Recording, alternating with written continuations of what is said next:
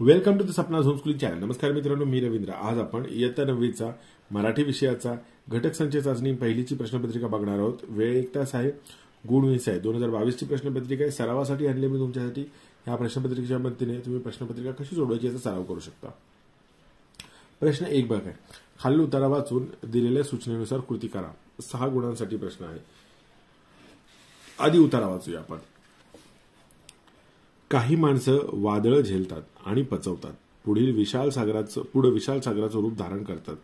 काही माणसं वादळामुळे कोलमडून पडतात. तर काही माणसं वादळ पचवण्याचे धडे दुसऱ्यांकडून घेतात.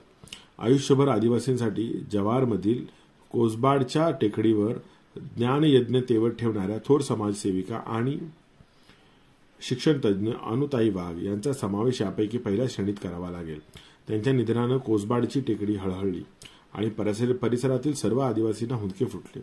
अनुताईंच्या निधनानं एक व्रतस्थ जीवनाची अखेर झाली.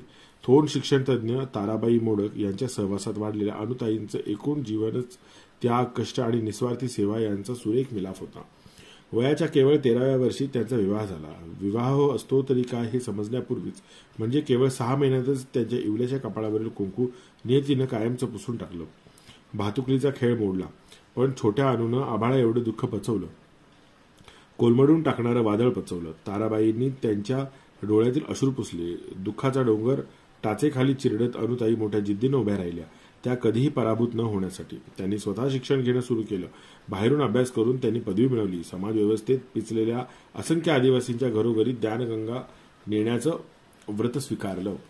आता या उतायावरून आपण प्रश्न बघूया काय काय दिलेत आपल्याला. आकृतीबंध पूर्ण करा. काही माणसं वादळामुळे काय करतात? दोन रिकाम्या जागा आहेत त्या भरायच्या आकृतीबंध पूर्ण करा. अनुताईंच्या एकूण जीवनाचा सुरेख मिलाफ इथे चार रिकाम्या जागा दिलेल्या आहेत. आता पुढचा प्रश्न काय? दिलेल्या पर्यायातून योग्य पर्याय निवडा. टिंबटिंब यांच्या निधनाने कोसबाडची टेकडी हळहळली. ताराबाई मोडक सावित्रीबाई अनुताई वाघ की इरावती कर्वे यातलं योग्य उत्तर लिहायचं आपल्याला. पुढचा प्रश्न बघूया आपण काय स्वमत. अनुताई वाघ यांना दिलेल्या समयीच्या उपमेची सार्थकता तुमच्या शब्दातल्या दोन गुणांचा प्रश्न आहे. आता आपण पान दोन वरती जाऊया. आता पान दोन वरती प्रश्न दुसरा अ. खालील कवितेच्या आधारे दिलेल्या सूचनानुसार कृती करा. तर आधी आपण कविता वाचून घेऊया. जैसा वृक्ष नेणे मान अपमान तैसे ते सज्जन वर्तताती एवनिया पूजा प्राणी जे करीती त्यांचे सुख चित्ती तया नाही. अथवा कोणी प्राणी येऊनी तोडती तया न म्हणती छेदू नका. निंदास्तु निंदास्तुती सममानिती जे संत पूर्ण धैर्यवंत साधू ऐसे। नामा म्हणे त्यांची जरी होय भेटी तरी जीव शिवा गांठू पडूनी जाय गांठी पडूनी जाय। आता या कवितेच्या आधारे आपल्याला प्रश्न काय विचारले ते बघूया. आकलन कृती आकृती बंद पूर्ण करा. वृक्ष काय जाणत नाहीत? दोन रिकाम्या जागा आहेत. त्याच्यानंतर चौकटी पूर्ण करा. संतांना दिलेले विशेषण आणि निंदास्तुती समान मानणारे. ओके या दोन ठिकाणी जागा भरायच्या आहेत. त्याच्यानंतर प्रश्न तिसरा काय आहे? वृक्ष आणि संत याचे साम्य लिहून तक्ता पूर्ण करा. वृक्ष आणि संत साम्य लिहायचे दोघांचे. आणि प्रश्न चौथा काय? खालील विधान योग्य पर्याय निवडून पूर्ण करा. सज्जनांची भेट होणे म्हणजे टिंबटिंबची गाठ पडणे होय. सुख दुःख निंदास्तुती जीवा शिवा आणि भक्तिमुक्ती. आता पान तीन वरती जाऊया आपण. आता पान तीन वरती विभाग तीन स्थूल वाचन. तिसरा प्रश्न आहे वैशिष्ट्य लिहा. व्यंगचित्रे. व्यंगचित्रांची वैशिष्ट्य लिहायचे. तर विभाग चार भाषा अभ्यास. आता व्याकरण कृती. तर व्याकरण कृती बघाव्या दृष्टांत अलंकाराची लक्षण लिहून लक्षणं सांगून उदाहरण द्या. एक मार्कासाठी आहे. सहसंबंध ओळखून लिहा. उदाहरणार्थ सोय गैरसोय. गोरासाठी आपल्याला लिहायचं आहे सहसंबंध पुढील शब्दातील अक्षरांपासून प्रत्येकी चार अर्थपूर्ण शब्द लिहा. राणावनात यातल्या अक्षरांपासून चार अर्थपूर्ण शब्द तयार करायचे.